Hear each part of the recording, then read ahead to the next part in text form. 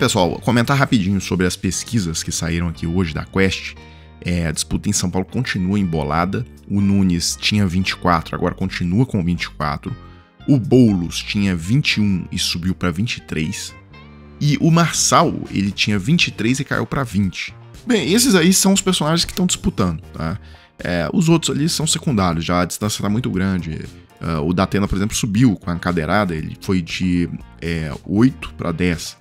Mas é, é, é, meio irrelevante, assim, né? Porque ele tá mais de do. Ele precisaria mais do que dobrar as intenções de voto dele para entrar na disputa. É, então, me parece que a candidatura do Marçal começa a fazer água. Aqui no Metrópolis, por exemplo, o Igor Gadelha até pergunta o que Marçal pretende fazer para reverter resultado ruim nas pesquisas. E aí no texto ele diz que ele vai radicalizar ainda mais, para chamar mais atenção. Mas essa estratégia, eu começo a perceber que ela está esgotada. O pessoal meio que cansou já das palhaçadas, etc. E como ele não tem tempo de TV também, eu vejo que as, ele tá em, em, maus lençóis. Bem, só para fechar esse comentário das eleições de São Paulo, acho que a justiça hoje tomou a decisão errada, tá? Justiça manda Marçal tirar do ar vídeo acusando Nunes de agredir a esposa.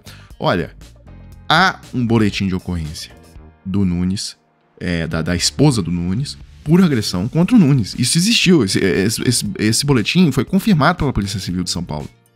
Então, é, quando a justiça manda tirar isso do ar, você está sonegando uma informação importante para o eleitor. Tá? O eleitor tem direito de saber disso, que esse sujeito teve um boletim feito pela própria esposa. Bem, mas seguindo aqui, eu quero falar agora da corrida para a Prefeitura de Belo Horizonte, que é a outra corrida que está bastante apertada esse ano.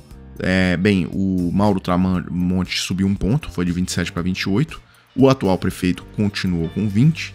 E o candidato do Bolsonaro subiu mais dois pontos. Agora está com 18, está tecnicamente empatado. A disputa é essa. Os candidatos da esquerda mesmo, eles estão muito para trás, né? A, a Duda Salaber na casa de 10 pontos e o, o Rogério Correia continua com 5 pontos. Acho que tá vendo aqui, sendo, sendo bastante realista, se a esquerda não fizer um voto útil no atual prefeito, tá? No Ford Noma, a, a gente tem uma chance muito alta de ter um segundo turno de dois candidatos bolsonaristas, tá? O Tramonte e o Bruno Engler. Bem, e aí, pessoal, o último assunto que eu vou tratar nesse vídeo é a questão da, do que aconteceu ontem, né? O Flávio Dino deu uma decisão falando que o governo pode é, liberar, gastar para combater as queimadas fora do arcabouço fiscal. Tá? E aí o, o, governo então falou, olha, então eu vou gastar 550 milhões para combater as queimadas, tá? E isso vai ser contabilizado fora do arcabouço fiscal. Então foi um dinheiro que foi liberado, o governo não precisa nem de buscar autorização lá no Congresso. E aí veio uma choradeira hoje que eu fiquei impressionado, né? Editorial na Folha de São Paulo, gasto emergencial não pode ser banalizado. Canetada de Dino do STF autoriza despesas fora do, dos limites orçamentários e, e tal, a medida deveria ser mais criteriosa. Ou seja, o próprio título já diz né, qual é a intenção deles. É, gasto emergencial não pode ser banalizado, ou seja, as queimadas são, portanto, uma questão banal. É, é o que está implícito nesse título. E eu vi também, aí o, o cara lá aliado do Arthur Lira, que foi o relator do arcabouço fiscal na Câmara, também deu um chilique lá, falou que isso aí vai afetar gravemente as contas públicas do Brasil. Pessoal, só botar em perspectiva, só nos últimos anos agora, passado recente do Brasil, tá?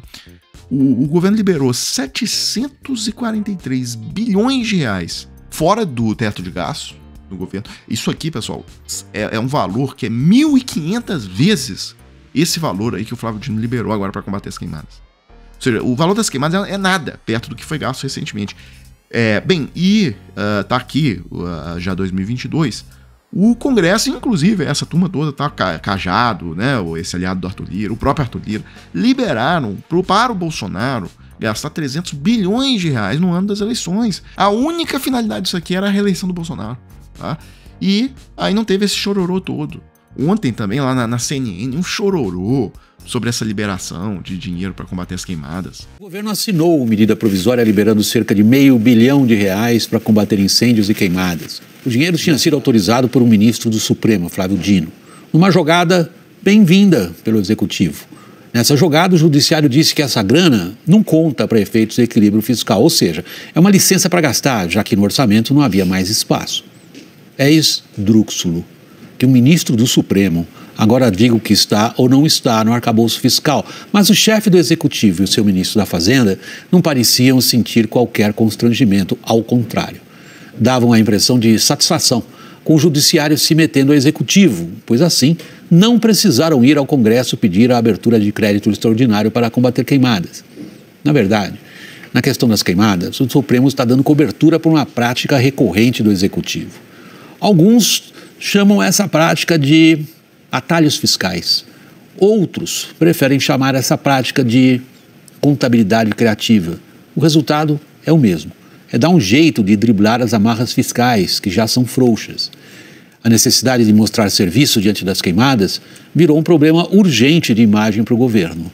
A contabilidade criativa também vai virar problema, só vai demorar mais um pouquinho. Ou seja, não, tá tudo errado nesse comentário.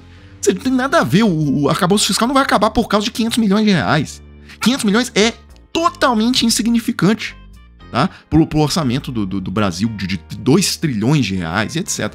Olha aqui, e eu ainda coloco aqui para vocês que é curioso esse chororô todo sobre os 500 milhões que o Dino liberou para queimada fora do, do arcabouço fiscal, em um dia, né, hoje, que o, a Selic vai ser aumentada. É uma decisão que custa por ano, esse, esse aumento, essa canetada que vai ser dada hoje pelo BC, vai custar é, por volta de 25 bilhões de reais tá, por ano. Então, assim, para gastar 25 bilhões, caladinho, o William Vac não falou um ar sobre isso ontem. Agora, para e, e gastar de uma forma duvidosa, tá? Porque é, a inflação em agosto, a gente teve deflação. É, eu vi uma, até comentei isso com vocês, uma coluna no Valor Econômico detalhadamente explicando por que, que esse aumento é muito duvidoso, a justificativa dele, sendo que o próprio mercado avalia que a economia do ano que vem não vai crescer nem 2%. Ou seja, o próprio mercado avalia que a economia do ano que vem vai estar fraca. Então, para que, que o governo precisaria de subir a taxa de juros para desaquecer mais ainda a economia, ainda gastando né, 25 bilhões de reais? É, então, é, é, são coisas e que você veja, não teve editorial da Folha para comentar isso, não teve nada, né? Não teve editorial do William Vac na CNN. Bem, é, o comentário mais sensato mesmo, pessoal, foi o da Miriam Leitão, tá? É, ela soltou um texto hoje de manhã dizendo: olha, queimados, é preciso mais dinheiro, mais punição e mais investigação. Se o Congresso quiser lavar as mãos, que responda por isso. Simplesmente isso, tá? E, e ela faz a crítica devida àquele comentário é, cretino que o Pacheco soltou ontem. Para quem não viu, o Pacheco falou que é, é populismo legislativo subir as penas para quem coloca fogo né, em vegetação nessa época. Olha, a pena é muito baixa. Né? Dá no máximo, acho que quatro anos de, de, de prisão e que ninguém pega, porque aí é, é convertido né, para serviços comunitários e tal. É, é um absurdo isso aqui, pessoal. Essa pena aí precisava ser no mínimo uns 15 anos, 15 a 20 anos. Porque é, essa, é, uma pessoa que bota uma queimada dessa, ela, ela, é, são pessoas que têm câncer, morrem por causa dessa fumaça. Você grave, ele tá, isso é um genocídio que está sendo feito. Isso aqui, quando você olhar em, em, questão de 10, 20 anos, o impacto que essas queimadas têm na, na, na expectativa de vida do brasileiro, isso aqui é um genocídio. Tá, com a saúde da população. Pessoal, como já é de costume, tá? Pra gente fechar esse vídeo, eu, eu tenho anunciado isso. Caso é, você precise aí de uma oportunidade para se trabalhar, inclusive ganhando em dólar, isso aqui não é bet, isso aqui não é casa de aposta, não é porcaria nenhuma, isso aqui é trabalho mesmo, tá? Para ganhar dinheiro de verdade. Se você tiver é, precisando e, e tiver a, a, curiosidade, eu vou deixar o link na descrição desse vídeo. Bem, é, dessa forma eu termino o vídeo agora, pessoal. É, se você gosta do nosso trabalho, quiser contribuir com alguma coisa, tá aí a nossa chave Pix na tela. E a gente volta em uma próxima oportunidade.